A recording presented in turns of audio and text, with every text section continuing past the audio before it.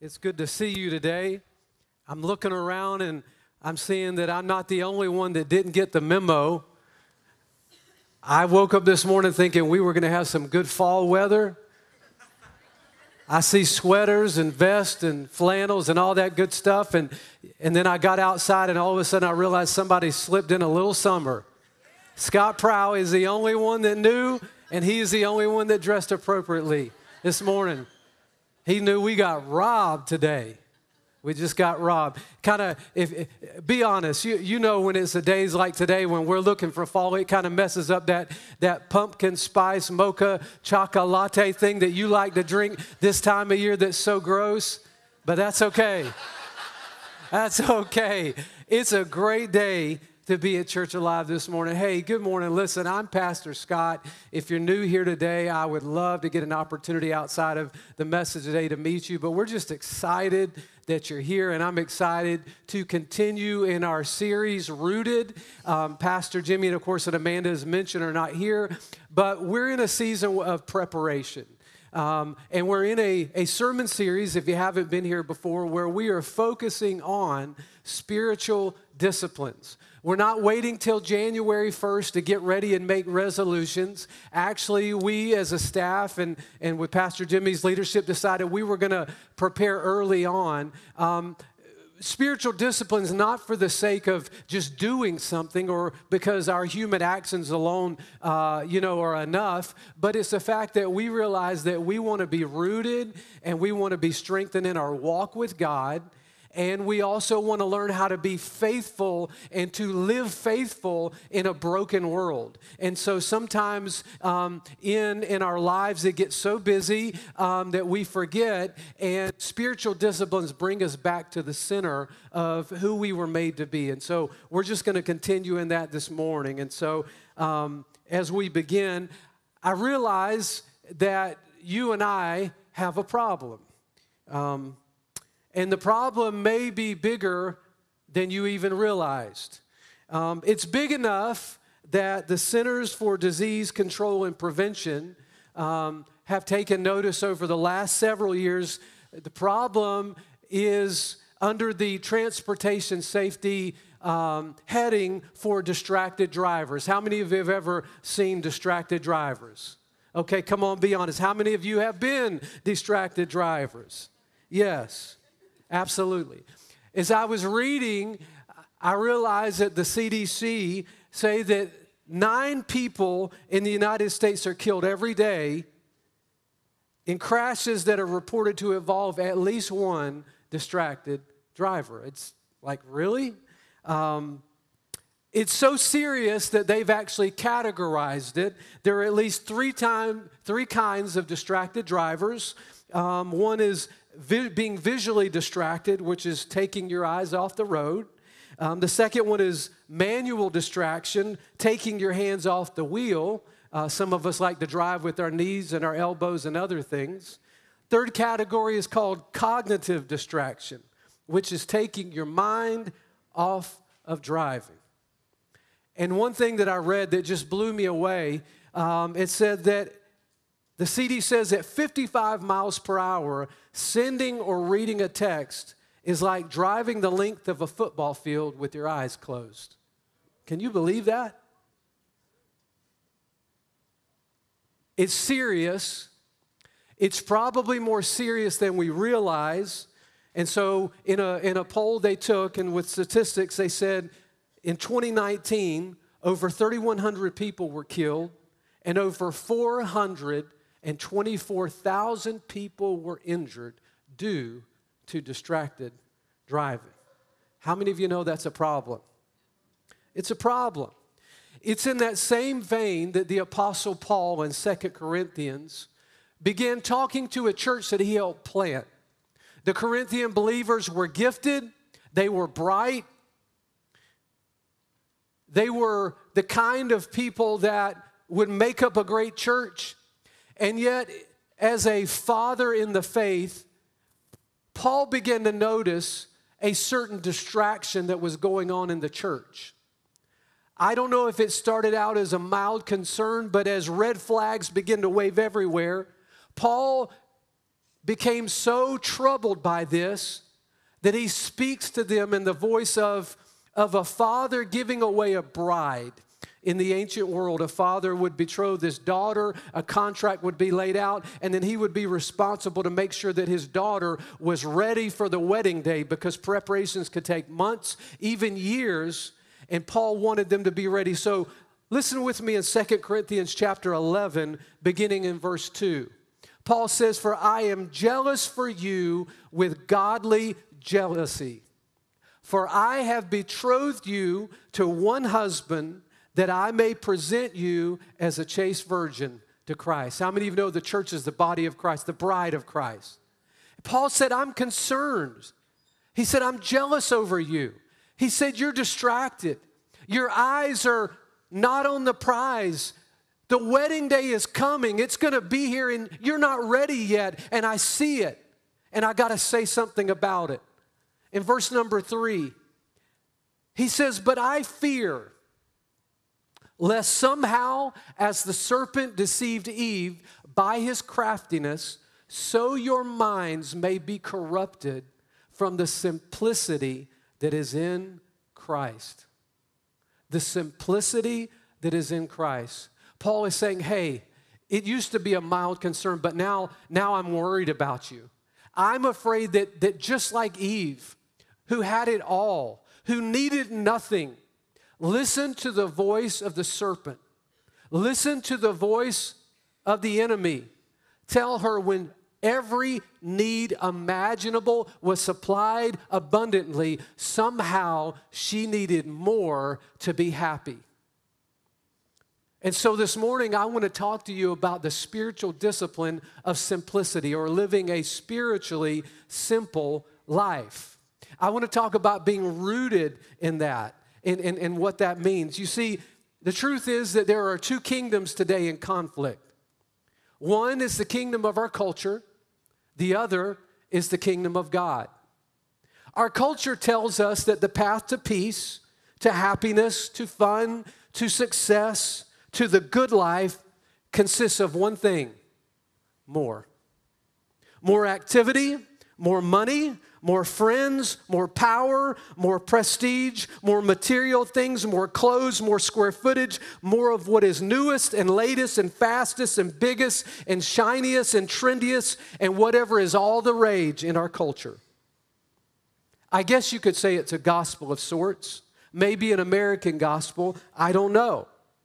It does make many promises for many new and shiny things that will cost more than we could possibly imagine. But may I remind you that the carrot dangling in front of us is attached to a stick. We have an enemy today that wants to get our minds off of the simplicity and the focus of following Jesus. Meanwhile, Jesus offers a different path, a different way, a different gospel. Follow with me in Matthew chapter 11 verse 28. Listen to what Jesus says. He says, first of all, it's so simple come to me. Come to me, all you who are weary and burdened, and I will give you rest. How many of you could use more rest? How many of you took advantage of the extra hour this Yes, praise God. There was something spiritual about it. But Jesus says, Come to me. If you want rest, you're not going to find it out there. You're not going to find it in the millions of promises that you get every day that flash on your devices, that constantly bombard you. Jesus said it starts with coming to me. He also says in verse 29 Take my yoke upon you and learn from me. For I am gentle and humble in heart, and you will find, there it is, rest for your souls. For my yoke is easy and my burden is light. Jesus says, I'll offer you an off ramp to the frantic, unrealistic, demanding pace that that kingdom calls us to every single day. And he says, if you come to me, it will cost you. There's a yoke if you come with me, but it's easy. The burden of it is light compared to the cost out in the world.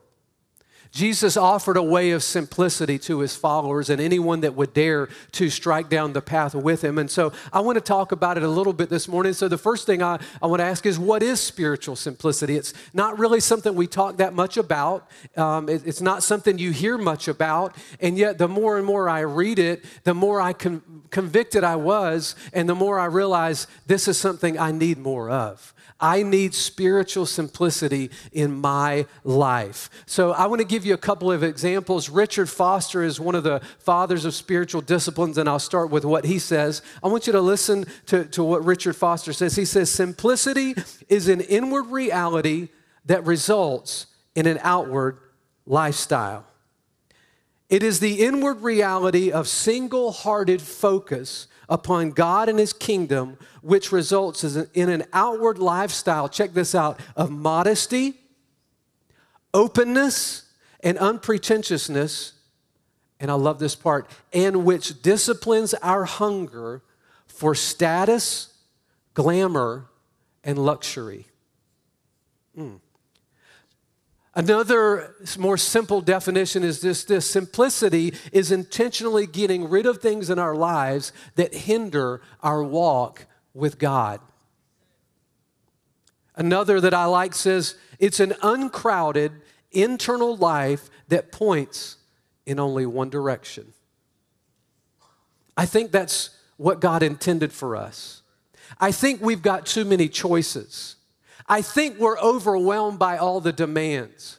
I think we're trying to do too much and to please too many people and to go after things in, in, in, the name of all the wrong things to get things that will never truly satisfy us. And Jesus says, Look, if you'll just come to me, I've got something better for you.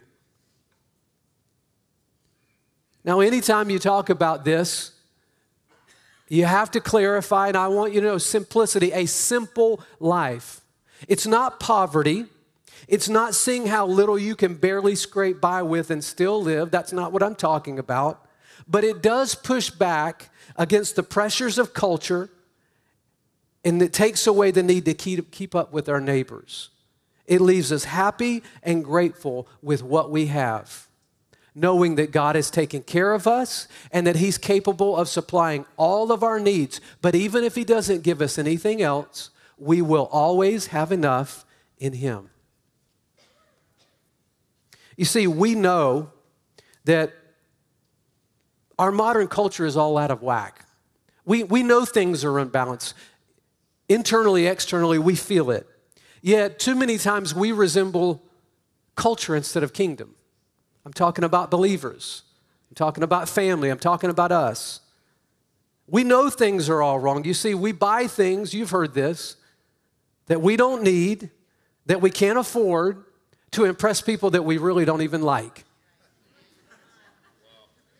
Guilty. Listen to this. We covet things, even though we know that's a sin. We covet things and we call it ambition. How about this? We hoard things. God forbid we ever get on, on the TV show. We hoard things way more than we could ever use, and we call it wisdom or prudence. You know, I mean, you never know. There, there could be another Great Depression, so we, we better get 12 popcorn poppers just so we can outlast it, right? Not only that, but we allow greed in our lives, which we know grieves the heart of God. And we call it industry. And we allow the values of the culture to dictate our lives every day. I think the truth is we're just pursuing the golden goose that we believe that we need and that we think we deserve. Meanwhile, that still small voice says, Come away with me. I've got something so much better. That will never make you happy, but I'll give you peace. I'll give you joy. So Jesus taught us a new way of living, a way of peaceful and unhurried following. He called us to a way of radical contentment and trust in God. He called us to a life that was free from the need of things so that we can trust God. The question is, How do we stay content and keep our heads and trust radically in a culture like ours?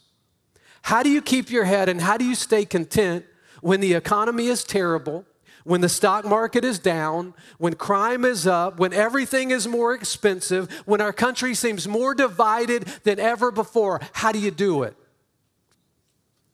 Matthew chapter 6, beginning in verse 19.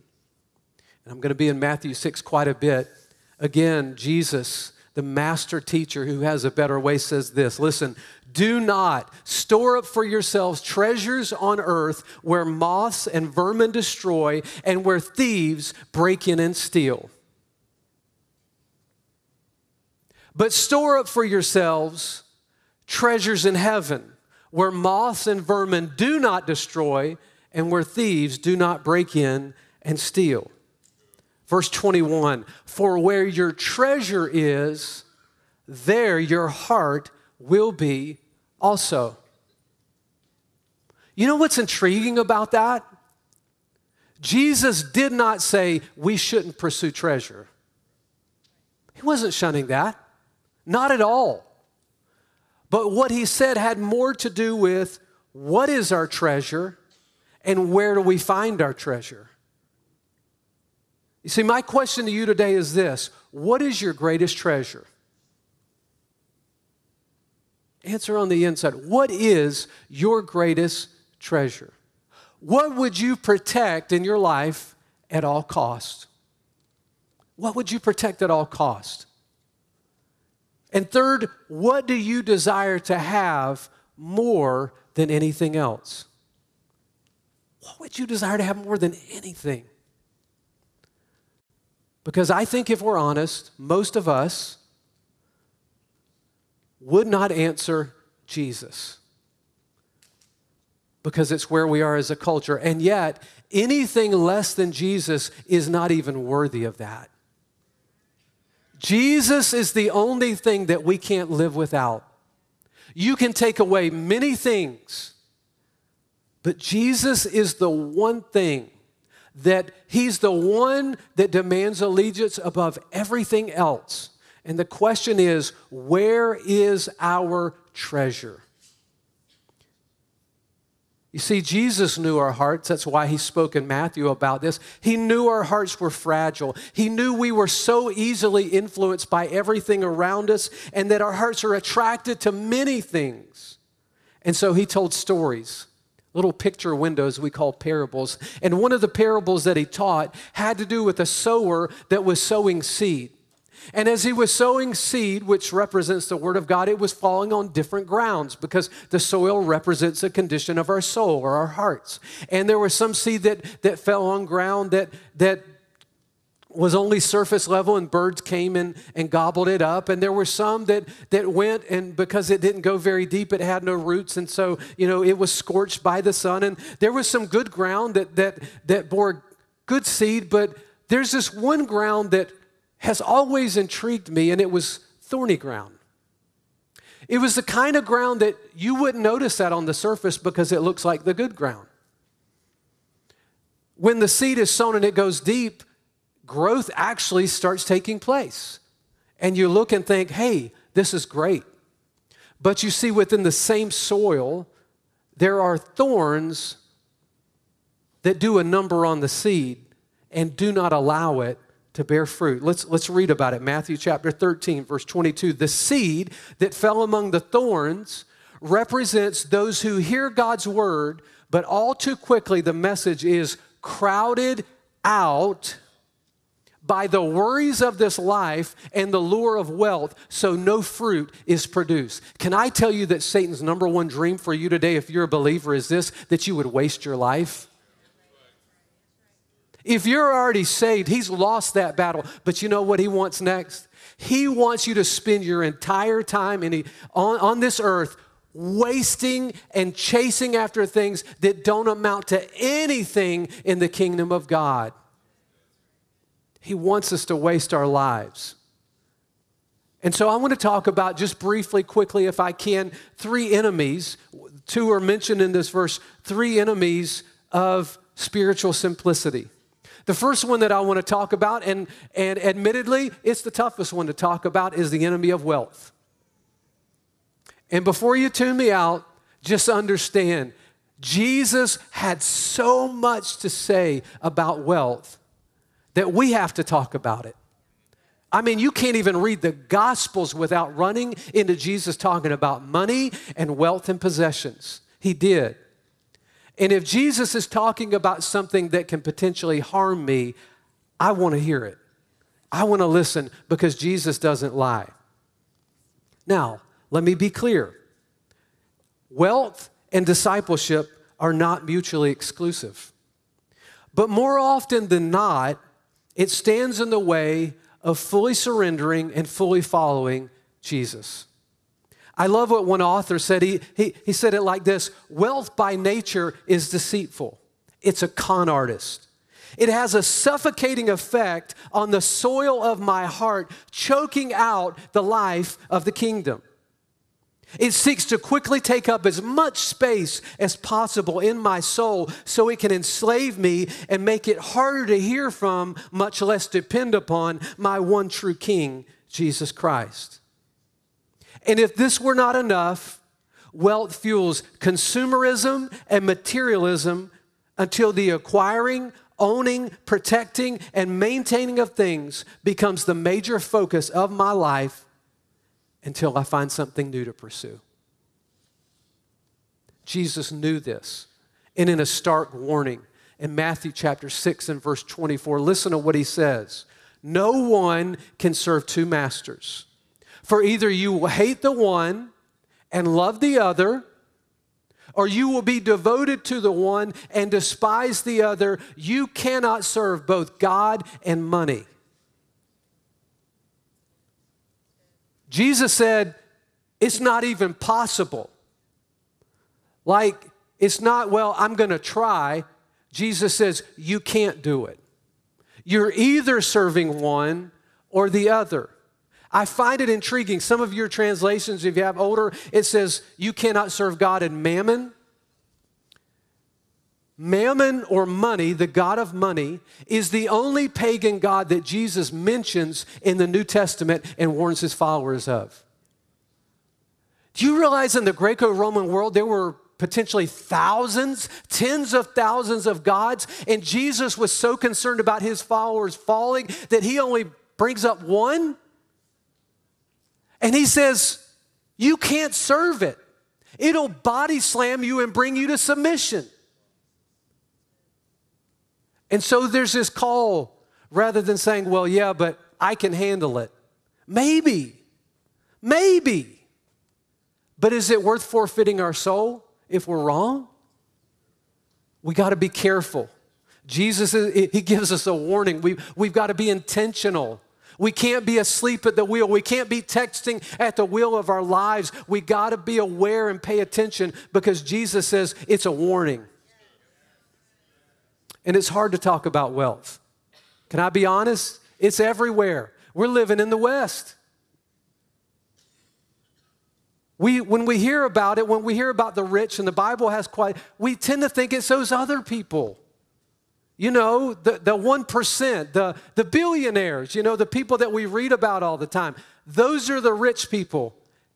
And I realize that wealth, on, on some level, you know, can, can I just say, can I just tell you what I think? I think we're the rich. I think if you compare us to the rest of the world, we're the 1%.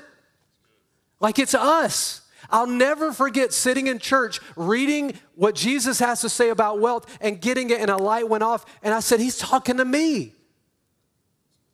I thought he was talking to Elon Musk. I, I, I thought he was talking to some other people. He was talking to me. And so I want to read to you just one or so verses. Listen to what Jesus says about the rich. And just, if you'll go with me there, consider the fact that maybe there might be an application, that there was one interpretation for the audience, which would have been Timothy, but there's such a strong application for you and I. Listen, 1 Timothy chapter 6, verse 9.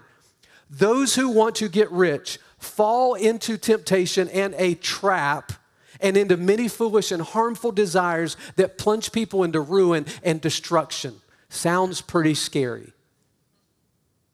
Verse 10 For the love of money is a root of all kinds of evil. Some people eager for money have wandered from the faith and pierced themselves with many griefs. So, what are you saying, Pastor Scott? You saying if I'm wealthy, that doesn't mean I love God? No, no, not at all. I think we are wealthy. It's just that I think we've got to have a plan and we've got to be aware that our hearts are so easily taken in by wealth that God is calling us to simplicity, and wealth often takes us down a road of complexity so that we're distracted. In 1 Timothy 6, continuing down to verse 17, the Apostle Paul gives us a blueprint. So, what do we do with it? Is, is there any remedy? What do we do with this? We're wealthy. What do we do? Verse 17, listen to this. Command those who are rich in this present world, that's me, not to be arrogant, nor to put their hope in wealth, which is so uncertain, but to put their hope in God, who richly provides us with everything for our enjoyment. Oh, I like that. For our enjoyment. I like it. Yes, he does. And not only that, but verse 18 command them to do good and to be rich in good deeds and to be generous and willing to share. That's so powerful. Notice he doesn't say, just give it all away and live a life of poverty. You won't find it. But there's some, there's some clues here. Number one, if you're wealthy, like I am, stay humble. Stay humble. Give up the idea that you're getting what you earned. God provided everything. Amen. I know sometimes when we clock in and out, we think, you know what, I'm doing pretty good because I'm willing to put in extra hours. Hogwash. We're blessed because God provided it. And not only did He provide it, but it all belongs to Him. It's not my money. It's not. Not only that, but number two, Make God the source of your security. Listen, if you got stocks in the stock market, you already know.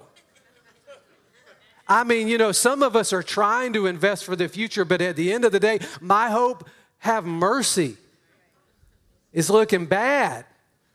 But you know what? The market of heaven, the economy of God is never down. He always has more than enough. And I'm talking to people that are retiring, they say, I'm scared out of my mind. Listen, I'm not there, so I want to be really super sensitive to that because I'm not there yet. But all I can tell you is it's crystal clear from the word trust in God. He's the source.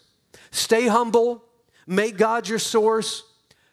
This is my favorite. Enjoy it to the glory of God. If God has blessed you, listen, you can enjoy it to the glory of God. I don't know about you, but I get joy out of giving to my kids. When I see them, I want them to enjoy it, but not for self glory. We enjoy it for God's glory. And then the last one is, is so clear stay generous, be rich in good works, always willing to share. We should be some of the most sharing, generous people alive. I've got some work to do this year.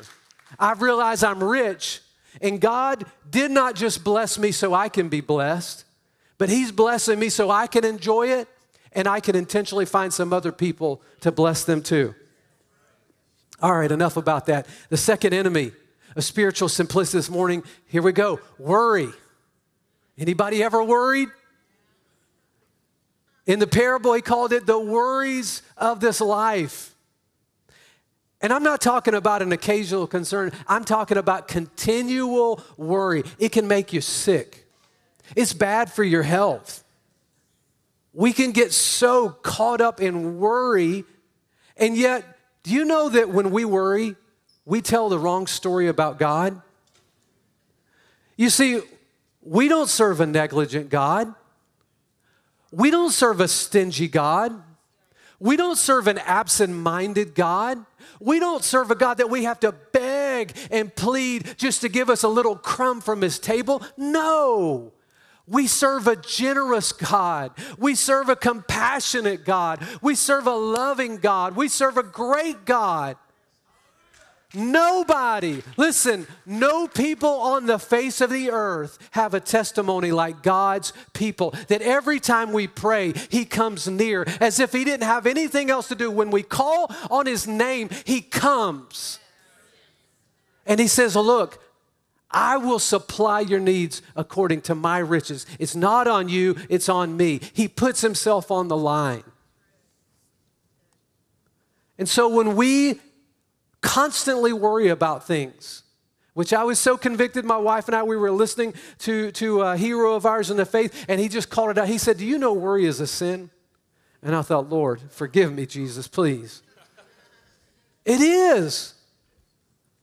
And not only that, but worry grieves the heart of God. You know, my kids are in school, one's in college, one's in high school, but just think with me here what would happen if my wife and I got a phone call and said, Listen, we really need you to come down to the school? And so I came down to the school, and my, one of my daughters was in the corner sobbing, um, inconsolable, and, and, and maybe the school counselor or an assistant principal, someone mediating, said, Listen, we got a problem. Okay, well, look, what's the problem? Because we didn't have a problem this morning when we dropped her off. What's the problem? Well, the problem is she's worried that you're not going to take care of her. She's worried that maybe she won't get to eat tomorrow or that there won't be anything for next week. She's worried that you're not going to be there for her when it matters most. She's worried that you know about her problems and you don't care. Are you kidding? Do you know how that would break my heart? Do you know that what that would do to me as a father? I mean, I'm not running for father of the year, but let me tell you something. I love my kids. If I have to work five jobs to make sure that they don't have to worry about breakfast tomorrow morning, I'm willing to do it. And I don't want my kids at night wondering, I wonder if dad's gonna do it again tomorrow. And yet, isn't that what we do when we constantly worry about things that are too big for us? And we forget that we serve such a big God that knows everything about us. And He knows what's coming not only down the road tomorrow, but next year and every single day of our life. He sees the situation from every conceivable angle, and He always chooses best.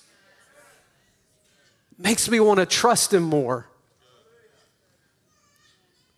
So Jesus says in Matthew 6, verse 25, Therefore I tell you, do not worry about your life what you will eat or what you will drink or your body, what you will wear. Is not life more than food and the body more than clothes? He keeps it simple. Don't worry. Look at verse 26. Look at the birds of the air. They do not sow nor reap or store in barns, and yet your heavenly Father feeds them. Are you not much more valuable than they? Can any one of you, by worrying, add a single hour to your life? The resounding answer is no. And why do you worry about clothes? See how the flowers of the field grow? They don't labor or spin. Yet, I tell you, Jesus talking, I tell you that not even Solomon in all of his splendor was dressed like one of these. And if that is how God clothes the grass of the field, which is here today and thrown into the fire tomorrow, Will he not much more clothe you of little faith? So do not worry. There it is again. It's a repetition. Do not worry saying, What shall we eat, or what shall we drink, or what shall we wear? For the pagans run after all these things. The people that don't even know God, they're frantic about these things. But He said, Not you. And your Heavenly Father knows that you need them. But here's the key verse 33 But seek first the kingdom of God and his righteousness, and all these things will be added to you. In other words, he wants to remember who God is, what he's promised, and what he's already done. And every single day we get a reminder and a sermon when we look at the birds outside and we look at the flowers, knowing we are so much more valuable to God, and yet God takes care of them every single day. And if he does it for them, will he do it for us? Yes, he'll do it for us. So, my question is what are you worried about today? What are you worried about today? What, what is it that, that Jesus wants to take off your plate? Is there anything that holds you captive to fear today? Your greatest fears. It's nagging, it's worrying. You wake up up uh, with it in the middle of the night or up early. It's the first thing you feel in your stomach when you wake up. And this is what I do because that happens to me. When I, when I face that, I ask this question What am I not believing about God? What am I not believing about Him? Am I not believing He's good? Am I not believing He has enough? Am I not believing that He loves me? I don't know what it is, but I know that God doesn't want us to worry because it kills spiritual simplicity. Moving to the third. The third enemy of spiritual simplicity I want to talk about is busyness. You see, busyness is something that we all generally know about. But like distracted driving, sometimes we don't actually realize just how serious it is. Now, I'm not talking about being truly industrious. I'm not talking about having um, a full schedule necessarily or doing a good job. I'm talking about being overcrowded. I'm talking about the hectic life, not the good life, the frantic life the thing that pushes us beyond limits that we don't even have. You see, Jesus knew that busyness would harm us. And so he warned us about it to flee from it. First thing that I want to just share with you is this busyness can ruin our joy. It can ruin our joy. John 15, 11 says this Jesus talking, These things I've spoken to you that you that my joy may remain in you and that your joy may be full. When's the last time your joy was full? You were so full of joy, it was full and spilling over onto other people. What a great place to be. And Jesus wants the seed of his word to get so deep down in our hearts that we have real joy. And for some of us, it's been a really long time since we've experienced anything even remotely close to that. And you see, it's hard to have joy when you're at a constant frenzied pace all the time. We know that joy and peace and love are all fruit of the Spirit that come from the Spirit, but when we're busy, sometimes we miss it. And when I'm not overbooked, when my schedule is not overbooked, my family will tell you I'm a better listener, I'm more fully present, I'm more loving to my wife, I'm less reactionary to circumstances. I'm more positive. I make better decisions. I'm just good all around. So, why do we cram our schedules with more than we can possibly handle? Not only can it ruin our joy, but busyness can rob our hearts. Luke chapter 10 and verse 41 says this But the Lord answered her, the story of Mary and Martha Martha, Martha. You are anxious and troubled about many things, but one thing is necessary. You're anxious and troubled about many things. You're going after so many things. But Martha, I only called you and asked you to do one thing. And Mary has chosen the good portion which will not be taken away from her. Interesting. Martha is in the kitchen and she's busy trying to set a table for Jesus, and she misses that Jesus had already set a table for her at his feet. He'd already set a table, and she couldn't see it because she was too busy. I wonder what we're missing. You see, God doesn't have a trouble communicating, it's just sometimes we can't hear him because he's always speaking. When we have no margin, we miss out on all God is doing around us. He's doing good stuff all the time. And you know, sometimes it's annoying when you meet those people and they're constantly talking about all that God is doing in their life all the time. Well, maybe they're just making it up, or maybe they're listening. Maybe they're creating margin and saying, God, I want to hear from you today. And God says, Great, that's what I've been waiting for. I got something brand new for you. I've been waiting. Not only that, but when we have no margin, we miss out on God's best for our today and our tomorrow. So, what is God saying to you? Could He be warning you about something? Could He be giving you directions for your next season? Trust me, whatever it is, you don't want to miss it. But it won't happen with busyness. The last thing I'll say about busyness is this, and this is the one that scares me the most busyness can cover up the rot that is already in our soul. You know that busyness in ministry, it is so easy to substitute that for a relationship with God. When you look busy, I think people just assume, wow, he or she's really going after it, right? But sometimes there's a problem, and the easiest way to cover it up is just grab another task. Come on, let's go. Busyness does not mean that we are faithful. It does not mean that we are fruitful. And busyness does not mean that we are walking close to the Lord. It could be a symptom of something worse. But when we're so busy and the Lord has put on the check engine light of our souls, when we're too busy, we don't see it. And it costs so much when we ignore it. And so I love this verse. You've probably read it a thousand times. It's one of those I read and something new just jumped out at me. Psalm 46:10. Be still and know that I am God. I will be exalted among the nations and I will be exalted over the earth. Did you see that? God basically says two things. He doesn't say try harder because that's what we want to do. Well, maybe if I grit my teeth, maybe if I'll discipline myself, maybe if I'll, I'll get it all together. And God says, no, no, no, no, no, no, no. Just stop. Just take a pause. Just slow down. Just cease from striving. Just be still. And the second thing he says is, I want you to know me. Be still and get to know me. Spend time with me. Why? Because I'm exalted above the nations. I, am over the whole earth. I'm over it all. There's nothing that we're ever going to scare God with. We don't have needs that God gets scared over.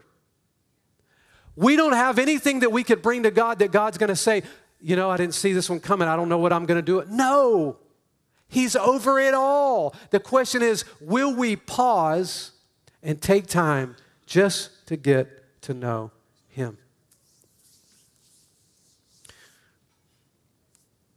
Some of the ways practically as the musicians come or prepare to come, as we've been talking about spiritual disciplines, there's so many, and I challenge you just to, to get online and find some, some biblical spiritual ways. I, I just jotted down several because simplicity touches so many things in our life. It, it touches our schedules, our lives, our relationships, our material possessions. So I'm going to read out a few, and I want to tell you a story. I want to tell you a story. Thinking about practicing spiritual simplicity, a couple of ideas and ways we could just get started, maybe just one, one or two. The first one always starts with just getting along with Jesus. Just getting along with Jesus couple of weeks ago, I felt so hectic, and my wife and I got away to Asheville just for a couple of days, and we had some quiet time, and we had some time together, and we had we sat under some amazing word, and we sat under some amazing worship, and I wasn't on staff there, and, and I was there for a conference, and just listening and soaking it in. It was amazing. Just getting away. And for you, maybe you can't do a weekend, maybe it's a day. Maybe it's not a day, maybe it's a morning where you, you get up early or you find a way to go hiking or, or just to find somewhere where you can get a little margin to get alone with Jesus. You'll be so glad you did. Spiritual simplicity could be rethinking my schedule and making margin a priority every day. It could be seeking simplicity in my speech, no lying, no exaggerating, no deception. It could be rethinking the holidays how can I practice modesty and frugality this holiday season so that I don't live with a lot of regret? How can I be more generous with my time and my resources? How can I bless someone else who is truly in need? How can I stop competing with other people and start sharing more? Those are just a few things. As I close today, the question arises for me some of these things are pretty heavy. What do you mean doing with less? What do you, what do you mean reordering my life? What do you, why would we do this as, as followers of Jesus? Why in the world would we even try this? Why would we be willing to do with less so we can bless someone else with more? Why would we alter our schedules? Why would we fast, as Pastor Jimmy preached last week so well? Why would we get into the Word, like Pastor Clinton told us? Why would we witness an evangelism? There's an African story about a king in a kingdom that had a problem. There was a chicken thief that was running rampant throughout the village.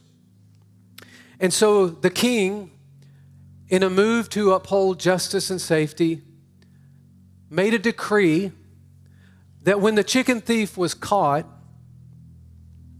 that he would be tied to a post and he would be whipped or lashed with a whip that was interwoven with sharp pieces of metal, and that he would receive 10 lashes.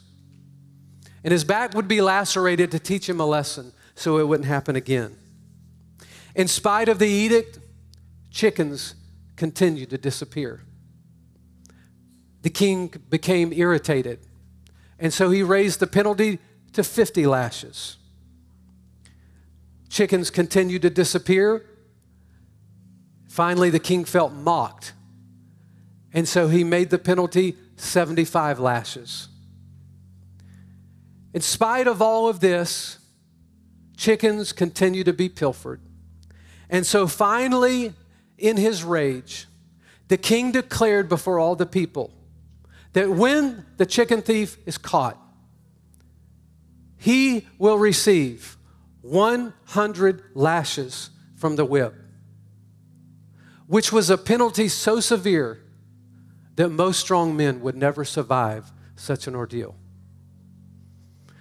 Finally, a day came when the thief was caught. And to the shock and the dismay of all the kingdom, the chicken thief turned out to be the king's mother. There was pandemonium in the kingdom because everybody was wondering what would the king do. On the one hand, his king was the rule of law. It couldn't be reversed. So what would he do? Would he stop the proceedings and scorn mercy?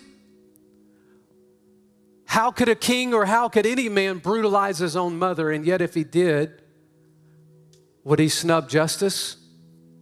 And so the day for the penalty came, and the king was sitting on his throne, and he commanded that the chicken thief would be brought and tied up to the post. The entire kingdom was so overwhelmed with grief and shock of it all.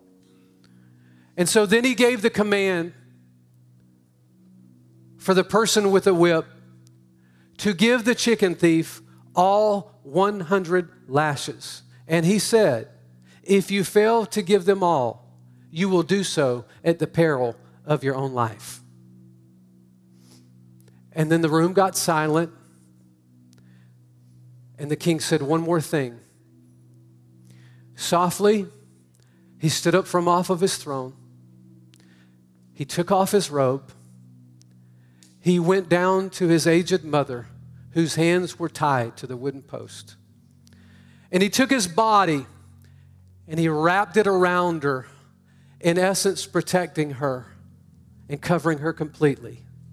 And then he turned to the executioner and he said, Now let the beatings begin.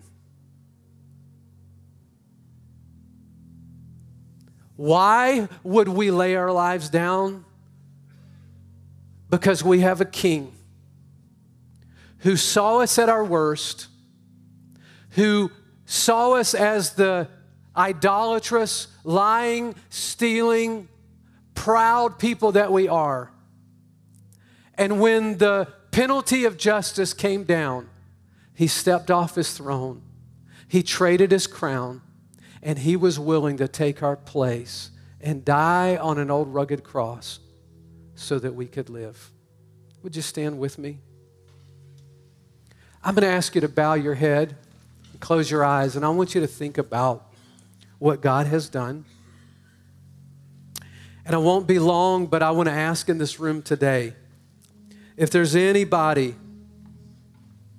that you know God is real, but you have never dared to lay down your life or surrender your life and to give it to Jesus and to become one of his followers, if you've never done that, I just wonder today, while no one's looking around, if God is talking to you and you said, Today, I want that to be me. I want to follow Jesus and to give him my life. Is that you? Would you put your hand up real quick so I can see it? If there's anyone in the house, you want to start your journey with God today, you want to give your life to him. Hold just for a moment.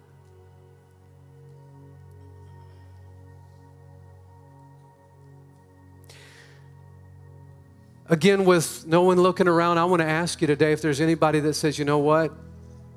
I need God to help me put more margin in my schedule. I want to get to a place where my walk with God is more simple and more focused and less cluttered by the things of this world. If that's you, would you just stick your hand up to heaven and let God know, yes, yes, yes, yes, all over the room? I want to pray for us today because I believe God is doing something in this season of rooted. It's more than a sermon series.